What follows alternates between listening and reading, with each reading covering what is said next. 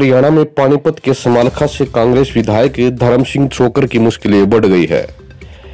ED ने आय से अधिक संपत्ति के मामले को लेकर उनके खिलाफ मनी लॉन्ड्रिंग का केस दर्ज किया है। गुरुग्राम में उनकी माहिरा होम्स प्रोजेक्ट की समस्त प्रॉपर्टी और ऑफ़िस को ईडी ने सीज कर दिया है। इसके अलावा दो फॉर्च्यूनर, एक मस्टडीज जी वैगन और एक मस्टडीज क्लासिक यानी कुल चार गाड़ियाँ साढ़े चौदह लाख कैश और साढ़े चार लाख की ज्वेलरी भी जब्त की गई है। ईडी की रेड की सूचना के बाद रम सिंह छोकर और उनका बेटा सिकंदर अंडरग्राउंड हो गए हैं। दोनों के मोबाइल फ़ोन भी स्विच है इधर विधायक के समर्थकों में ईडी की कार्रवाई से रोष है। विधायक छोकर को हरियाणा के पूर्व सीएम भूपेंद्र सिंह हुड्डा के करीबी माना जाता है।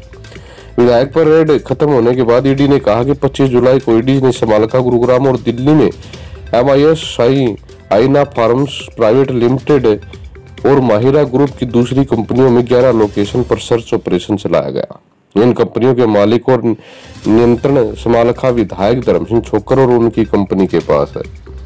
ईडी ने मंगलवार को विधायक धर्म सिंह छोकर के गुरुग्राम, दिल्ली और पानीपत के समालखा स्थित आवास पर रेड की गई। यह रेड तीन दिन तक चली इसमें ईडी को काफ़ी सबूत मिले थे। हालाँकि समालका स्थित मकान पर ईडी को कुछ हाथ नहीं लगा, लेकिन गुरुग्राम स्थित कोठी पर कई गाड़ियों को जब्त कर लिया गया था। ईडी के ईडी सूत्रों के मुताबिक विधायक से जुड़ा मनी लॉन्ड्रिंग का विवाद गुरुग्राम पुलिस की तरफ़ से दर्ज एफआईआर के बाद शुरू हुआ, जिसमें गुरुग्राम पुलिस ने साई आईना फार्म्स प्राइवेट लिमिटेड को धोखाधड़ी का आरोप बनाया आरोपी बनाया गया था। इस केस में कहा गया कि इस फर्म ने चौदह सौ सतानवे लोगों से घर के बदले 360 करोड़ रुपए ले गए। इन लोगों को दिल्ली के नज़दीक गुरुग्राम के सेक्टर अड़सठ में घर बनाकर देने का भरोसा दिया गया था, हालाँकि उन्होंने अपना वादा पूरा नहीं किया।